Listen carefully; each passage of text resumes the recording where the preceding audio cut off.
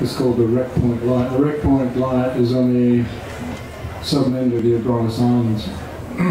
um, it's called Wreck Point because there's a lot of wrecks there, three or four that I know of. Um, my wife and I built a uh, wooden boat and um, a very classical boat and uh, we sailed it up that way one time. and we went out via Turtle Dove Shoal, which is just to the south of Abrolhos, just because it's such a big island name, I had to go and have a look. And then we um, headed on up to uh, Southern Group, uh, the Abrolhos Islands, and um, I said, keep your eye out for the wreck point light. I'm cooking this fish that we caught, a big, big tuna.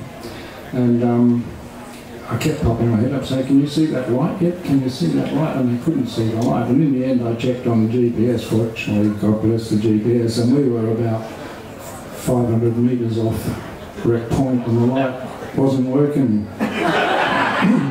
Which is how it got its name. the wreck point light. I mean, you know, you just do not expect that a lighthouse won't be working. But that, that it was, yeah, thank God for the GPS. Anyway.